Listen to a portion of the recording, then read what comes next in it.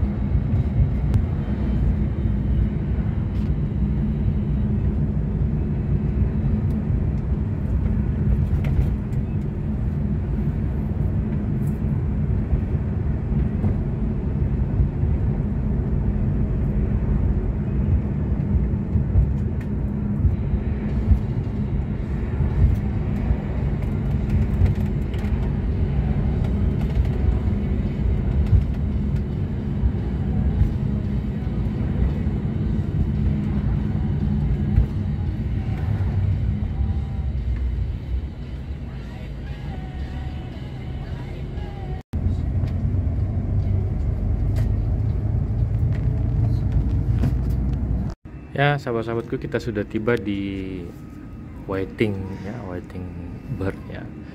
Di di sini kita akan menunggu boot ya yang akan membawa saya ke kapal di mana tempat saya akan join ya. Jadi saya akan ditransfer dari kapal Alecto ke Vitality ya. Ya, doakan semuanya berjalan baik.